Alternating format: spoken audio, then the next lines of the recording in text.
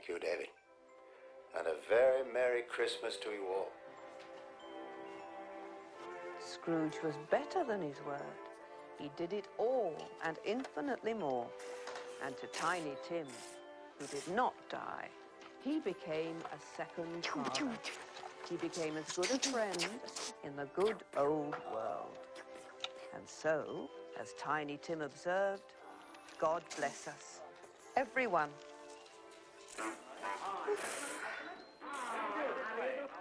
What are you boys giving me the runaround? Stop right out of this way. Hey, hey, hey, hey! Don't throw that. That's only for long distance. I'm sorry, boys, but we haven't got any vacancies. Got no vacancies. We got plenty of rooms.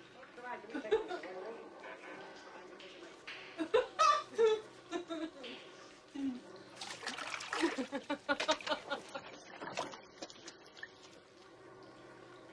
there?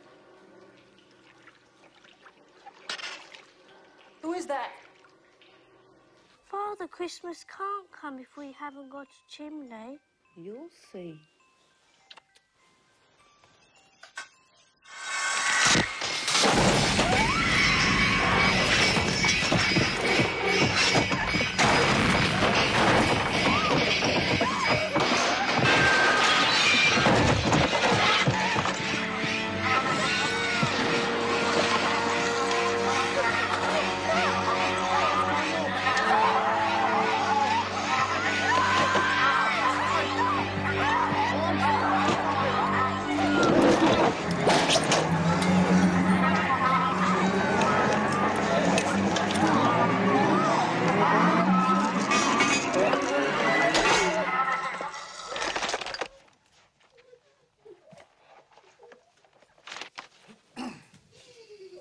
I hereby inform you under powers entrusted to me under section 47, paragraph 7 of Council Order number 438476 that Mr. Buttle, ah. Archibald, residing at 412 North Tower, Shangri-La Towers, has been invited to assist the Ministry of Information with certain inquiries, and that he is liable to certain financial obligations as specified in Council Order RB stroke CZ stroke 907 stroke X.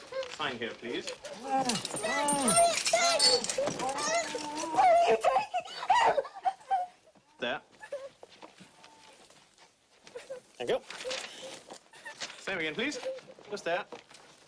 Press harder this time. Good. Oh, but this all about. That is your receipt for your husband. Thank you. And this is my receipt for your receipt. Mrs. Buttle, are you okay?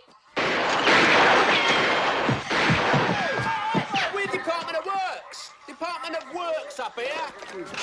Careful with those bloody things.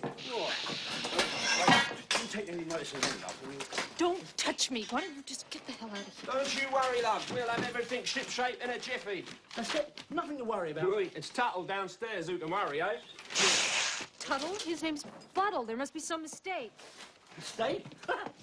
We don't make mistakes. Bloody typical. They've gone back to metric without telling us. Mrs. Buttle, are you all right?